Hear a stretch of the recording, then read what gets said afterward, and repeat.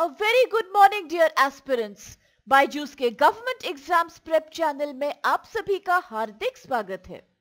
दोस्तों, इस लेक्चर में हम चर्चा करेंगे this day in history segment की। एक ऐसा सेगमेंट जहाँ हम आपके सामने प्रस्तुत करते हैं इतिहास से संबंधित वो सभी इंपॉर्टेंट फैक्ट्स और घटनाएँ जो आपकी आने वाली इन सभी गवर्नमेंट परीक्षाओं के दृष्टिकोण से बेहद लाभदायक होते हैं। along with this lecture ke ant mein we will also share some very crucial practice questions with you all of which are based on today's facts. तो आप अवश्य ही आज के सभी ऐतिहासिक फैक्ट्स को ध्यान से समझते हुए इन प्रश्नों के उत्तर देने का प्रयास कीजिए। इनके आंसर्स आप हमारे साथ निरंतर शेयर कीजिए इन द कमेंट सेक्शन क्योंकि इनके लगातार अभ्यास से भी आपको इन सभी एग्ज़ाम्स में बेहद लाभ मिलेगा। तो आइए फ्रेंड्स अब शुरू करते हैं ट्वेंटी सेकेंड में, अर्थात आज के दिनांक से जुड़े हमारे सभी इंपॉर्टेंट ऐतिहासिक फैक्ट्स की। The very first fact of today is associated with 1772 जब राजा राम मोहन रॉय was born अर्थात आज के दिन राजा राम मोहन रॉय का जन्म हुआ था भारत के सबसे महान सामाजिक और धार्मिक सुधारकों में से एक his greatest contribution to the modern Hindu religion is revival of the ancient scriptures and the Vedanta philosophy. इन्होंने कई एंशियंट हिंदू स्क्रिप्चर्स को इंग्लिश में भी ट्रांसलेट किया था He founded the Brahmo Samaj in 1928 along with Debendranath Tagore. इसकी सहायता से Brahmoism began as a monotheistic reformist movement of Hinduism. राजा राम मोहन रॉय ने हमेशा एक सुप्रीम गॉड के अस्तित्व और पूजा के महत्व को बताया। He was against idolatry rituals and polytheism वह इस संबंध में ईसाई और इस्लामी धर्मों से प्रभावित थे। उन्होंने ये भी बताया कि भगवान की पूजा कहीं भी की जा सकती है for that there is no separate code और सिस्टम इंपॉर्टेंट और धर्म सुधार के अलावा उन्होंने समाज सुधार के लिए भी प्रत्येक कदम उठाए। जैसे कि he fought against caste system sati child marriage polygamy illiteracy and infanticide he also demanded more right for women including the right to inherit property उन्होंने along with David Hare establish the Hindu college at Calcutta In fact, he also established many other schools and educational institutions for both girls as well as boys. He supported the incorporation of Western education into Indian schools. One of the famous journals that he started was Sambad Kaumudi. इनका उद्देश्य था To make Hinduism more acceptable to the West and across the world. और इसी कारण इन्होंने हमेशा यही समझाया कि हिंदू समाज में प्रचलित सामाजिक बुराइयों का प्राचीन ग्रंथों से कोई लेना देना नहीं था और वास्तव में यह सोशल इवल्स किसी भी एंशियंट टेक्स्ट या स्क्रिप्चर के द्वारा स्वीकृत नहीं थे अपने खुद के परिवार में बहुत ही करीब से सती प्रथा का एक इंसिडेंट देखने के पश्चात उन्होंने वर्ष 1812 में सती के खिलाफ अपनी लड़ाई शुरू करी। इनके प्रयासों के कारण Lord William Bentinck who became the governor general of India in 1928 passed the law banning sati throughout the company possessions in the subcontinent on 4 December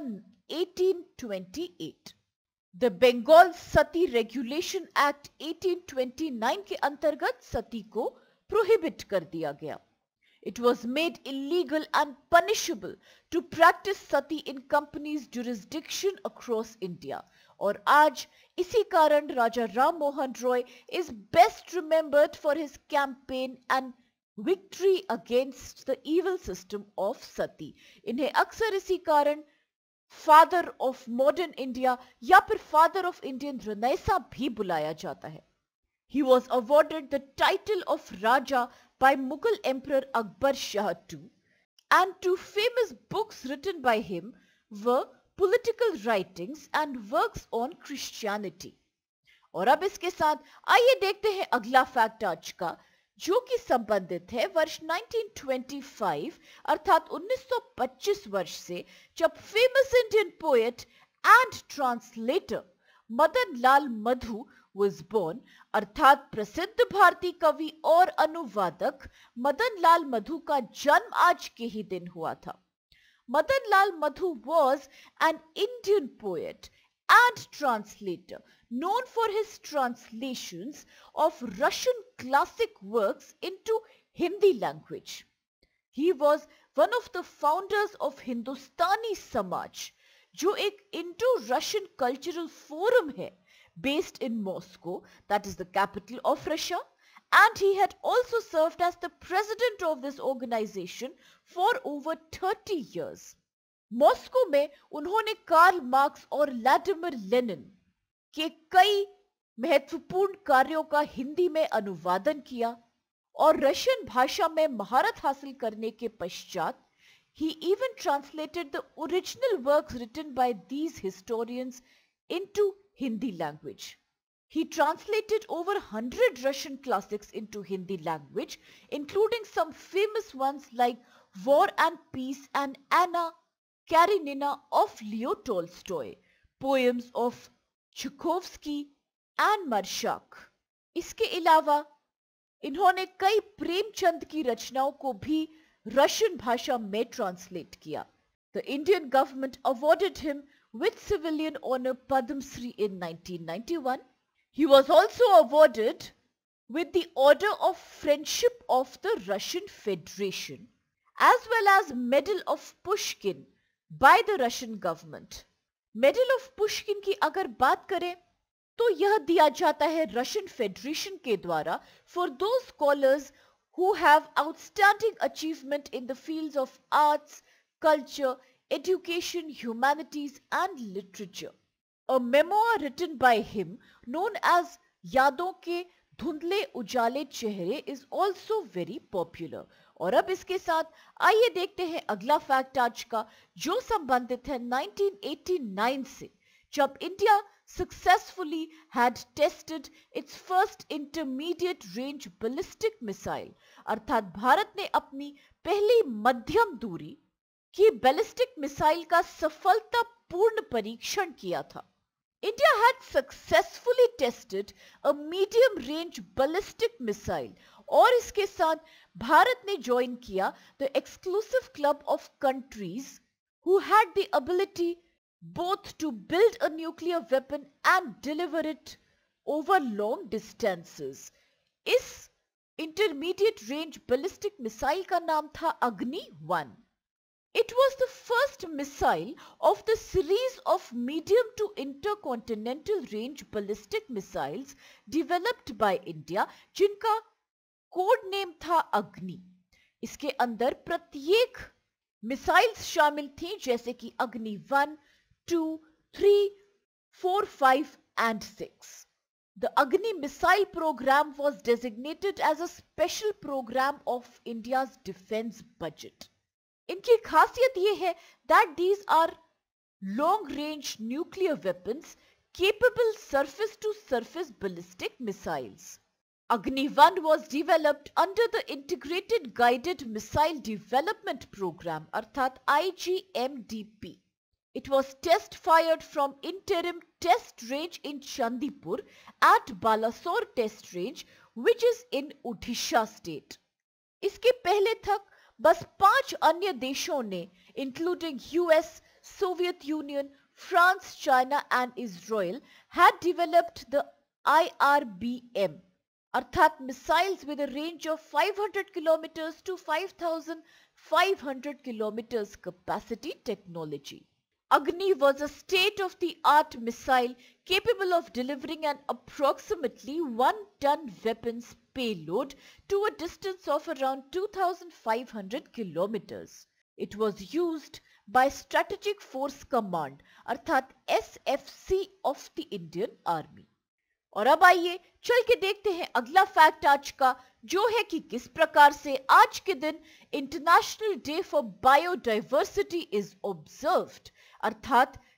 जैव विविधता के लिए अंतर्राष्ट्रीय दिवस आज ही के दिन, अर्थात 22 मई को मनाया जाता है।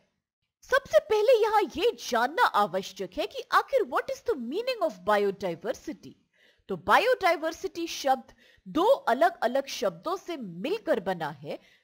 which are biological and diversity अर्थात इसका तात्पर्य है, all the variety of life that can be found on earth, including different types of plants, animals, fungi and microorganisms, जो मिलके इकोलॉजिकल बैलेंस बनाते हैं and are responsible for a healthy ecosystem अब अगर बात करें आज के इस दिवस की So it is a United Nation sanctioned international day for the promotion of biodiversity issues इसे अक्सर वर्ल्ड बायोडाइवर्सिटी डे भी कहा जाता है the international day for biodiversity falls within the scope of the UN Post 2015 Development Agenda Sustainable Development Goals. वर्ष 1992 में United Nations conference on environment and development जिसे अक्सर अर्थ समिट भी कहते हैं, जो कि रियो डे जनेरियो ब्राज़ील में आयोजित हुई थी यहाँ state government and leaders agreed on a strategy for sustainable development. इस समिट में one of the most important agreements was the Convention on Biological Diversity. This convention came into force on 29th December 1993 और इसी कारण this day was earlier designated as the International Day for Biological Diversity. परंतु वर्ष 2001 में इसे परिवर्तित किया गया and from 2001 onwards it started being celebrated on 22nd May. हर वर्ष इस ओकेजन की एक यूनिक और स्पेसिफिक थीम होती है और इसी प्रकार वर्ष 2021 की थीम है we are part of the solution यह slogan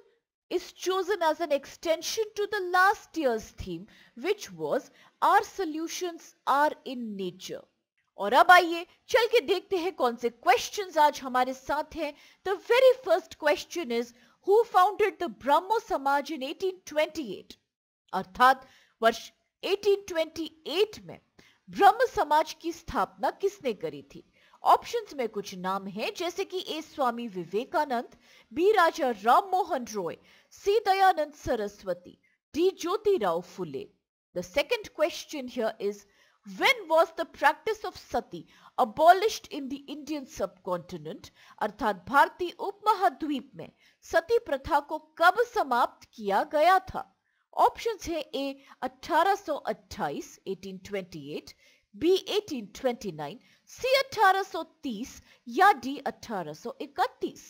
The third question is Medal of Pushkin is an award associated with which country? अर्थात Medal of Pushkin किस देश से जुड़ा है या कौन सा देश इसे प्रदान करता है ऑप्शंस हैं A France B UK C Russia या D Canada And the fourth question is when had India successfully tested its first intermediate range ballistic missile अर्थात भारत ने अपनी पहली मध्यवर्ती दूरी की बलिस्टिक मिसाइल का सफलतापूर्वक परीक्षण कब किया था? ऑप्शन है ए 1987 बी 1988 सी 1989 और is it D 1990 with this आज का पांचवा और आखिरी प्रश्न है। When is the International Day for Biological Diversity observed? अर्थात जैविक विविधता के लिए अंतरराष्ट्रीय दिवस कब मनाया जाता है, किस दिनांक को मनाया जाता है? ऑप्शन है ए 20 मई, बी 21 मई, सी 22 मई और डी ट्वेंटी थर्ड या तेईस मई। और अब इन सभी इंपॉर्टेंट क्वेश्चंस और कुछ बेहद लाभदायक फैक्ट्स के साथ आज के इस सेशन को हम यही समाप्त करते हैं। इस आशा के साथ कि आप सभी को इससे बेहद लाभ प्राप्त होगा। फ्रेंड्स अगर आपको वीडियो से हेल्प मिले और अगर आपको लेक्चर पसंद आए तो प्लीज़ चैनल को लाइक शेयर और सब्सक्राइब ज़रूर कीजिए और इन क्वेश्चंस के उत्तर निरंतर शेयर कीजिए in the comment section with this have a great day all of you thank you so much and please stay safe